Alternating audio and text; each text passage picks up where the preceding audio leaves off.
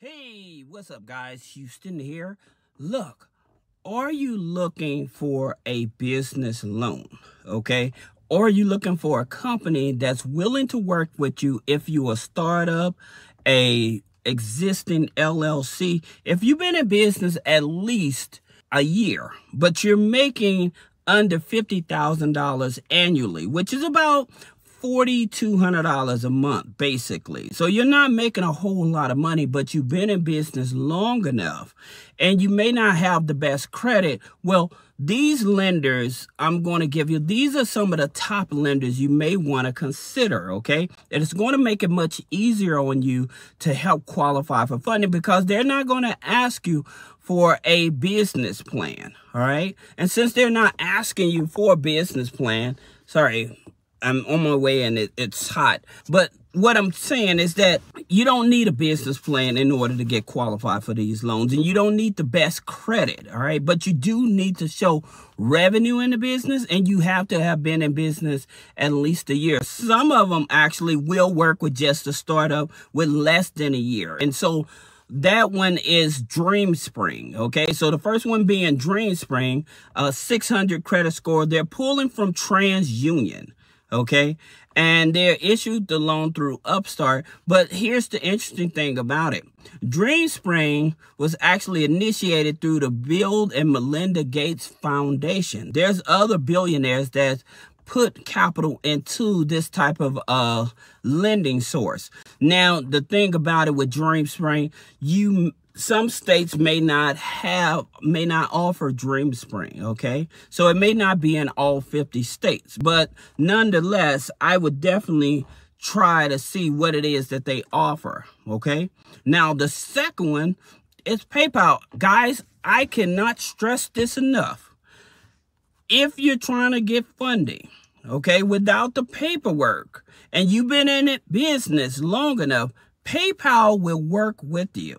Okay. Now, here's the thing about it. There's two type of business loans with PayPal. You have the PayPal working capital and then you have the PayPal loan builder. Okay. So with the PayPal working capital, the situation with them, you have to be in business at least three months.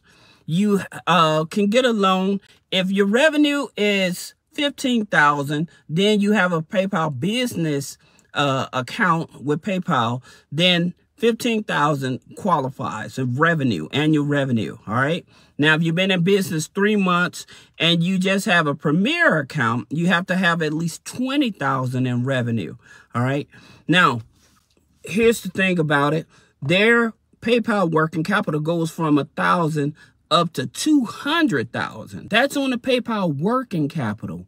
Now, when you're talking about the PayPal business loan, it's a different situation. The minimum credit score is a 580 credit score, okay? And neither of them is a hard pull on the credit. They are going to check check it, but it's not a hard pull. Now, the loans for the PayPal business loans is you have to be making an annual revenue of 33,300. Okay. Now they loan from 5,000 up to 150,000 and you have to be in business at least nine months. Now with the PayPal business loans, you do not have to have any type of PayPal products in order to qualify for that. All right. Now, PayPal also offers a PayPal business credit card, which they pull from Experian FICO 9. Now, your average credit score to get that, you're going to probably need maybe about a 670, 680 credit score.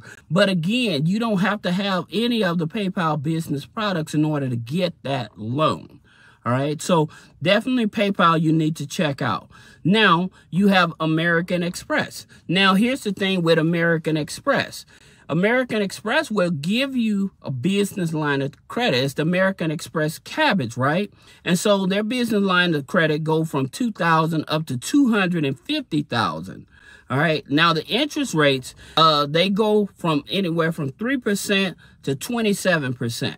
All right. So it depends on how long you're actually taking out the loan in terms of the interest rate. So their interest rates, uh, their monthly is you going from six, from six months up to eight months. Okay. That's their spread out time in terms of repaying back the loan.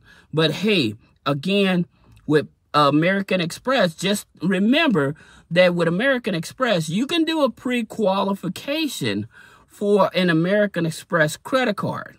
Now, the reason that I'm stating that is because once you get the American Express credit card, the regular personal credit card, which they would probably do a hard pull on your Experian, a TransUnion and TransUnion FICO 8. Uh, but once you actually get qualified for their personal credit card, then when you apply for like a business credit card, they won't do a hard pull.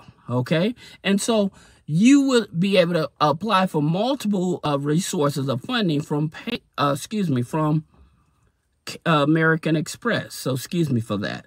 Now, here's the thing about it that I would definitely tell you because they don't charge any maintenance fees, they don't charge any origination fees, they don't charge you any late fees on their lines of credit for your business. Okay. And that's real good. Now, you do need at least a 640 credit score. Now, your business has to be in business for at least a year, and your average revenue, monthly revenue, has to be at least $3,000 a month. Again, like I told you guys, these are the lenders that you need to focus on if you're making less than $50,000 annually, yearly. So again, $4,200 a month. If you're not making $4,200 a month, then these are the lenders that you actually should be taking a look at. Now, let's say that you have an e-commerce business. Now, with your e-commerce business, I would tell you to look at Shopify. If you have a Shopify account, you do have to have a Shopify account in order to get their loans. Because with Shopify, they just look at what your average sales is, okay? It's no hard pull on the credit.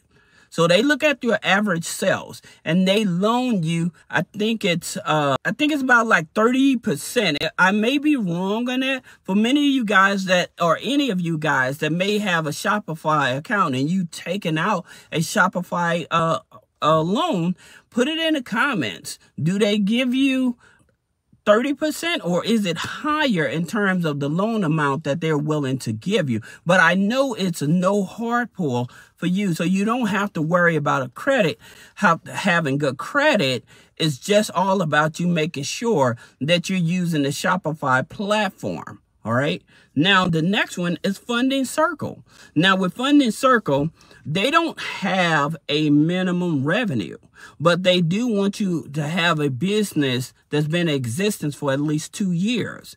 And also, they want to make sure that you have at least a 660 credit score for, for Funding Circle. Now, the interesting thing about it, they go up to uh, half a million dollars, 500,000 in funding that they'll loan up. But here's the thing about it if you as an individual have challenging credit, I always tell you this, what you can do if you have somebody with a 660 or higher credit score, you can do an amendment with the Secretary of State and add them on to your uh, business account to your Secretary of State, and they can apply for credit cards and stuff for you. It just depends on how you feel about the person and if you trust them enough to be willing to do it. But at the same time, this is definitely uh, opportunity, especially with the banks starting to tighten up. You need to really focus on these alternative lenders in order to try to find funding to help keep growing your business. Now, if you have any questions about business credit funding, personal credit funding, click the link in the description. Schedule a one-on-one -on -one consultation. Thank you.